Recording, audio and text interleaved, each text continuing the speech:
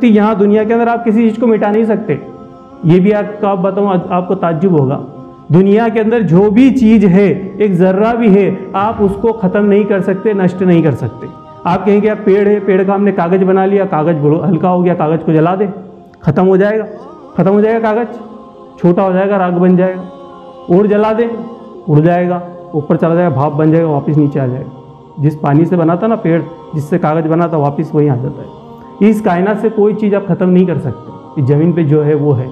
ये अल्लाह का जो मौजूदा है।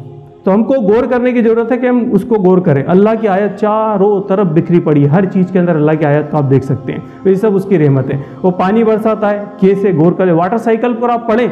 अगर वाटर साइकिल पर कुतबे दें तो चार चार कुतबे हो जाएँ। सिर्फ़ जो दुनिया ने खोज की है। कुरान ने तो बहुत सारी बात कही वाटर साइकिल। कि पानी का क्या होता है? पानी कैसे चलता है? अल्लाह ने कहा कि हमने जो, और ये भी एक आपको अजीब लगेगा, आपने कभी सुना ना हो, कि जितना पानी इस ज़मीन जब शुरू हुई थी, जितना पानी इसके ऊपर है, इतना ही पानी है आज तक, एक ज़र्रा, एक बूंद भी कम नहीं हुआ, ना एक बूंद बढ़ा इसको भी ख़त्म नहीं कर सकता। इतना ही पानी है ज़मीन के ऊपर, जितना अल्लाह ने एक बार में भेजा। ये कभी ख़त्म नहीं हो सकता, ना इसमें से कम पड़ सकता है ना ज़्यादा हो सकता है। सब कुछ इसके अंदर है। क्योंकि इसके अंदर हम जानते हैं कि पानी क्या है? पानी हम पीते हैं। फिर निकालते आदमी की बॉडी के अंदर सत्तर परसेंट पानी है, सबको पता है, ये तो आम मेडिकल बात। लेकिन ये उसके बाद में क्या होता है, क्या पानी उसके साथ चला जाता है? वो ज़मीन में जाता है तो वापस ज़मीन सोख लेती वो पानी। सत्तर परसेंट था, वापस दो यहीं पर इतना ही रहेगा, कम ज़्यादा नहीं हो सकता। अब एक को जला देता हूँ, वो भाप बन के उड़ जाता है, फिर वही बरस के नीचे आ जाता है। तो वो पानी भी नहीं जाता, इतना ही पानी तो ये सब चीज़ें अल्लाह की निशानी है। वो बरसाता है फिर वो समुद्र में जाता है, समुद्र से फिर भाप बनती है, फिर बादल जाते हैं। बादल का एक अलग साइंस है पूरा, उसकी भी आप तहकीक करें। वो पीने का पहाड़, पीने का पानी कहाँ होता है? पीने का पानी पहाड़ों पर जमा होता है।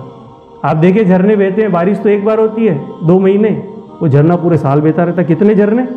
जो पूरे साल बहते रहते हैं। तो इतना पानी आया कहाँ से? वो अल्लाह पीने का पानी वहीं रखता है। पहाड़ों पर ही आता है। बाकी कुछ नीचे आता है, समुद्रों में चला जाता है। तो पहाड़ों का पानी अल्लाह पहाड़ पे रखता है, वहाँ पर रखता है। झरने बहते हैं। वो कुछ सीधा आ जाता है। हम ये सोचे सूरज से उड़ जाता होगा फिर? सूरज में इतनी गर्मी है तो सूरज से पानी उड़ जाता होगा, कम कैसे नहीं हुआ? कम होता ही नहीं है, क्योंकि अल्लाह ने इस ज़मीन के आसपास लेयर बना दी है। सात लेयर इस ज़मीन के आसपास, जिसकी वजह से वो बस एक जगह जाकर जम जाता, वापस आ जाता नीचे। और अल्लाह ने कुरान में फरमाया सूर्य तारीख सूर्य नंबर छिया छियासी, आयत नंबर ग्यारह के अंदर के बस समाई जाती रज कि हम इस ज़मीन से कोई भी चीज़ जो ऊपर जाती है, वापस लौटा देते नीचे वापस आ जाती तो ये अल्लाह ने कुरान तो बादल का भी अपना एक निज़ाम है और तुम इस पर सोचते नहीं। खास मकदार में पानी दिया अल्लाह ने। इतना ही पानी था तुम्हारे लिए। वो बाकी जितना एक्स्ट्रा था जमा दिया। बर्फ़ में पड़ा हुआ है वो। अब पिघल रहा है थोड़ा थोड़ा तो दुनिया चला रही है कि भाई बर्फ़ पिघल रही है उन्हीं की दुनिया डूब जाए। उसकी फ़िक्र में लोग लगे हुए हैं। तो ये सोचने की, गौर फ़िक्र करने की बात है कि जितना पानी अल्लाह ने दिया, अगर ज़्यादा हो जाए तो क्या होगा? सब डूब जाएँगे, जैसे नूल सलाम के दौर में हुआ था। तो ये सब उसने दिया है। और फिर इन्हीं पानी से हम देखते हैं कितने रंग के पेड़, सब्ज़ी, फल ये सारे उगते हैं। एक ही पानी है, उसमें अलग अलग ग्रीन उग रहा है एक तो ग्रीन ही उगना चाहिए। अब उसका बैंगन का पेड़ के पत्ते तो हरे, बैंगन एक अलग कलर चुकंदर के पत्ते हरे, चुकंदर एक अलग कलर बिल्कुल, वैसा कलर बनता भी नहीं, उसके अलग कलर है। तो ये सब हम देखिए, सब निशानियाँ हैं। आप एक जगह गाजर देखिए आप लाल हो रही है, बीज डाल रहे हैं, सफ़ेद बीज, लाल गाजर। उग के आ रही है इसके अंदर? क्या वहाँ कलर मिला रहे हैं इसके अंदर? ये सब अल्लाह की निशानियाँ गौर करने की चीज़ें हैं सारी। एक ही बीज आप यहाँ से उगाते हैं किसी चीज़ का सेमफल का, और वहाँ से ले जाके दूसरी ज़मीन में उगाएँगे तो वही बीज है, लेकिन टेस्ट अलग बदल जाएगा। ज़मीन के अंदर अलग अलग निशानियाँ ये क्या हुआ यहाँ पर? तो बहुत सारी निशानियाँ अल्लाह की है।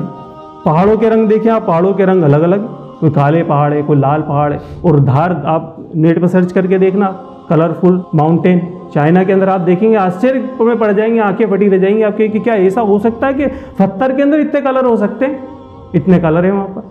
पहाड़ों के अंदर अल्लाह ने कलर भी दिए। तो ये कैसे हो गया, ये सोचे। ऐसे नहीं गुजर जाए, अल्लाह की आयत ये अल्लाह की आयत हैं। सोचो खुद पर, अपने जिस्म पर, कि जिस्म कैसे काम करता है। नाखून यही है, दूसरी जगह होता तो क्या होता? ये आँख यही है और कहीं होती तो क्या होता? ये हाथ कितना बैलेंस बनाया अल्लाह ने, ये सोचने की बात नहीं है। ये सब अल्लाह की निशानियाँ हैं। और पहाड़ है, हरियाली वाले पहाड़, एक सूखे पहाड़, जहाँ पत्थर ही पत्थर, एक पे जो पेड़ ही पेड़ लगे हुए हैं अलग अलग पहाड़, वहाँ पत्थरों में उग रहे हैं। रेगिस्तान है, समुद्र है, उसके अंदर फिर गहराइयाँ हैं, समुद्र के अंदर बहुत सारी। और सबसे ज़्यादा कलर ये भी आपको पता चलेगा, सबसे ज़्यादा कलर अल्लाह ने दिए ही पानी के अंदर है, जहाँ हर चीज़ घुल जाती है। और पानी के अंदर आप देखिए, मछली आप चले जाओ। आज आपने देखी होंगी मत्स्यालय जहाँ पे मछली, अजायब घर होते हैं। वहाँ जाओ, कितनी तरह की मछलियाँ हैं। तो हर चीज़ आप देखेंगे कि बहुत सारी चीज़ें आपको पानी के अंदर सबसे ज़्यादा कलर मिलते हैं। उसके अंदर जो है आपको कई मिल जाए कई कई पेड़ पेड़ों वाली मछलियाँ परों वाली मछलियाँ, करंट मारने वाली मछलियाँ। आदमी मर जाए, इतना करंट मार देती है मछलियाँ। तो इतनी चीज़ें अल्लाह ने पैदा की है, वो सितारे भी। तो ये सब चीज़ें गौर फ़िक्र करने की है। इस पर ऐसे ही नहीं गुजर जाना जब अल्लाह ने कहा तो इसलिए कहा। अल्लाह कोई बात ऐसे नहीं कहता है।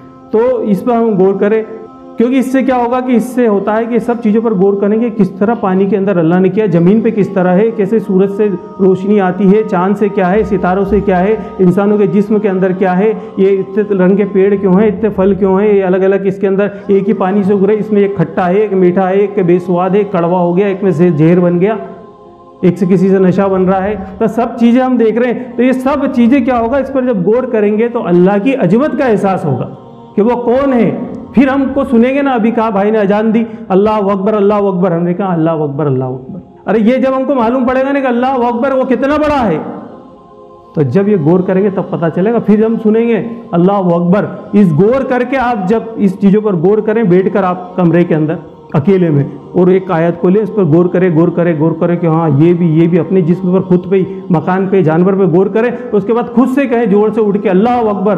आपकी साँसें खुद की दहल जाएगी रोंगटे खड़े हो जाएँगे वाकई में है।